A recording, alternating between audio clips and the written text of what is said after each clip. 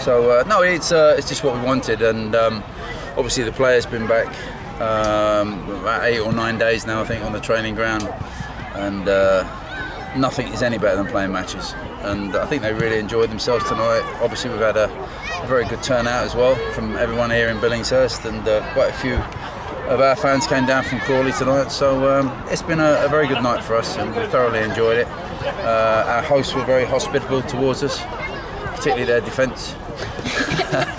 But uh, no, it was a good night. Great workout for everybody. What were the main positives for you? I mean, you played 11 trialists tonight, but there was good continuity throughout, wasn't there, in the performance? Yeah, well, obviously we tried to mix it up, so there was some senior boys in with, with some of the young kids, and I think uh, they sort of helped them through it. Um, you saw uh, little um, uh, young in the first half uh, come into the team, uh, and sort of Jimmy Smith and, and Conor Henderson even though they're new lads themselves, you know, I thought those three in particular stood out in the first half for the way that they passed the ball, the way they kept the ball, and uh, obviously Conor chipped in with a couple of good, good goals as well.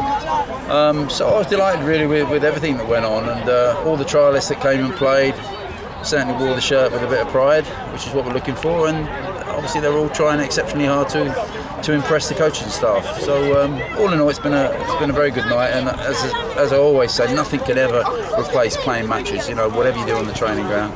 Um, so there was a few uh, misplaced passes at times, but. Um, I was delighted with everything tonight. I and I guess on Tuesday night at Oakwood, it'll be a similar sort of squad and a similar sort of setup.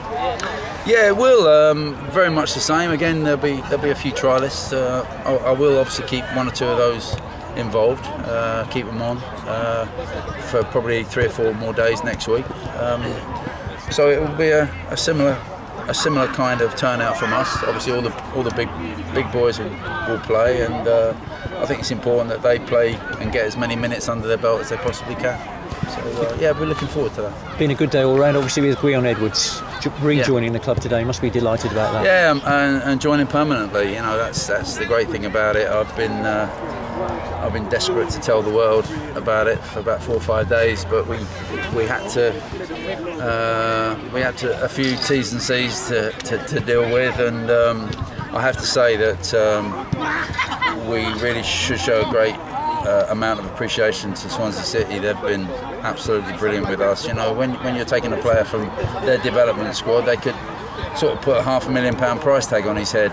Um, which uh, which has happened in the past, I know, but they were very good with us. They want him to, to go out and play football. They obviously want to keep uh, informed of how well he's doing. Um, we have had to put uh, a sell-on percentage in there. Um, but they've been very good about everything, Swansea City, and uh, I think Gwion appreciates that. You know, he's leaving a Premier League club, but he's going to play regular football with us, and um, that might not have been the case had he stayed with Swansea. So uh, uh, it's been a good day all round, Bruce, to be honest.